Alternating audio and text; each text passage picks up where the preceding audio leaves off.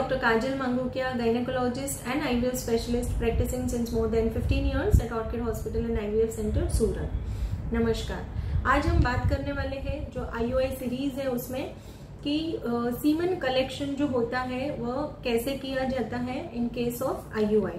so friends काफ़ी बार ऐसा होता है कि जैसे इनफर्टिलिटी या तो कंसीव करने में तकलीफ़ हो रही है, ऐसे जो कपल होते हैं, काफ़ी बार हम देखते हैं कि फीमेल में और मेल में एंजाइटी लेवल बहुत ज़्यादा होता है। प्लस काफ़ी बार मेल कंफर्टेबल नहीं होते हैं semen collection at the centre तो दो मेथड होते हैं। वन इज़ आइडियल जो है that is semen collection at the centre जो भी सेंटर पे आपका ट्रीटमेंट चल रहा है वहाँ पे ही अगर आप सीमन कलेक्शन करवाते हो तो दैट इज़ आइडियल और अगर नहीं पॉसिबल होता है तो होम कलेक्शन के लिए भी एडवाइस कर सकते हैं। और जनरली जो सीमन कलेक्शन किया जाता है that is with the masturbation और काफ़ी बार ऐसा हमने देखा है कि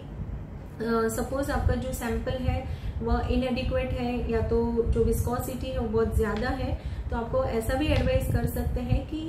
तीन सैंपल जो है ejaculatory sample different different container में आपको कलेक्ट करने होते हैं। बट जनरली हमने देखा है कि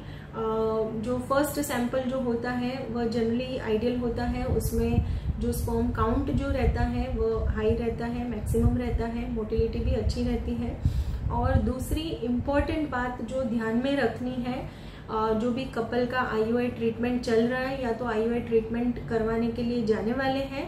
कि जो एब्सटिनेंस है वो minimum two to three days का एब्सटिनेंस होना चाहिए ताकि जब भी आपकी प्रोसीजर होने वाली है, वह दिन जो सीमेंट सैंपल है, उसका जो वॉल्यूम है, वह अच्छे से मिल पाए और जो मोटिलिटी है या तो जो स्पर्म काउंट है, वह अच्छे से मिल पाए। और जनरली हम जो एक्सपेक्ट करते हैं कि आपका जो वॉश्ड सीमन सैंपल है उसमें जितना मोटिलिटी अच्छा रहेगा जनरली हम देखते हैं हमारे सेंटर पे कि 90 टू 95 परसेंट मोटिलिटी होती है। So that is an ideal sample कि हमें अच्छा मोटिलिटी मिलेगा तो जो आपके सक्सेस रेट है वो हमेशा बढ़ जाएँगे।